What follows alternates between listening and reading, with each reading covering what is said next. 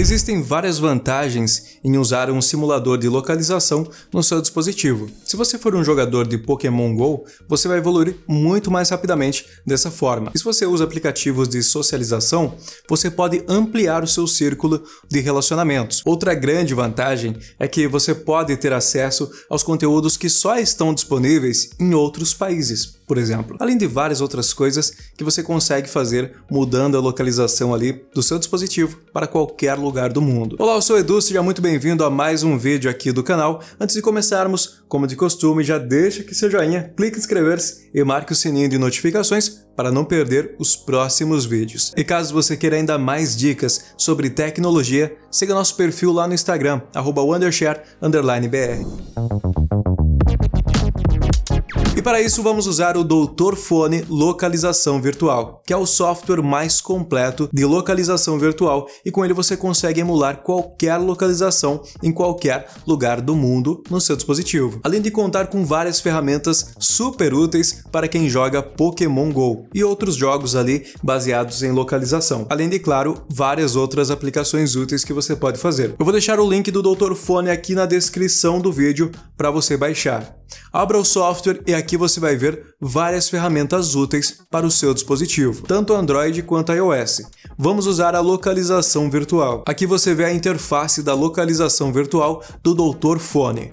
Para usar, conecte o seu dispositivo ao computador com um cabo USB. E agora também é possível conectar através da rede Wi-Fi. Então, se os seus dispositivos estiverem na mesma rede Wi-Fi, ou seja, conectados na mesma rede Wi-Fi, o Doutor Fone consegue localizar o seu dispositivo e você pode conectar via rede Wi-Fi.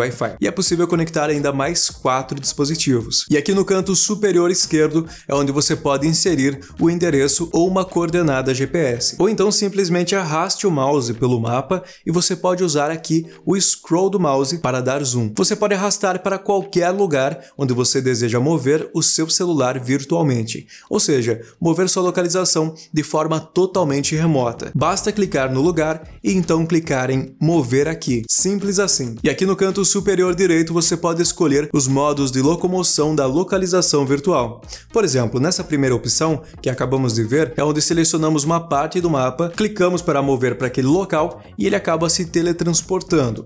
A segunda opção permite que você crie pontos de teletransporte.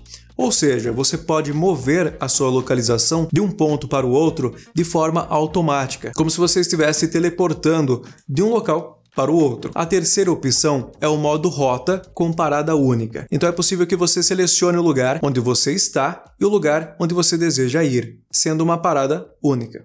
Já a quarta opção permite adicionar várias paradas, então você pode definir uma rota com várias paradas durante o percurso. Uma coisa muito legal é que você consegue selecionar a velocidade de locomoção. Então você pode colocar a velocidade de 2 metros por segundo, 30 metros por segundo e assim por diante. Também a quilometragem por hora. Isso é muito útil, pois deixa a sua emulação da localização virtual muito mais realista. Isso pode ser muito útil em vários casos, por exemplo, para quem joga Pokémon GO, usa essa opção aqui para capturar mais Pokémons em vários locais diferentes.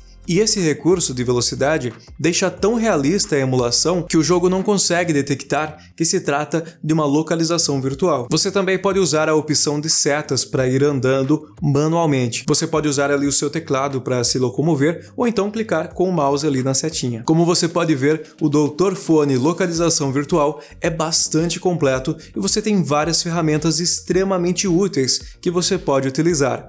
Então vou deixar o link aqui na descrição do vídeo para você baixar aí no seu computador o Doutor Fone e usar o recurso de localização virtual. Se você gostou desse vídeo, já deixa aqui seu joinha, clique em inscrever-se caso você seja novo por aqui e marque o sininho de notificações para não perder os próximos vídeos. E aqui no final tem dois ótimos vídeos para você.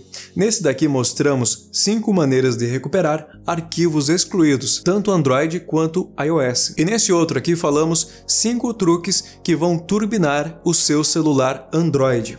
Ambos estão bem legais, então clique em um dos dois aí e nos vemos lá. Tchau, tchau!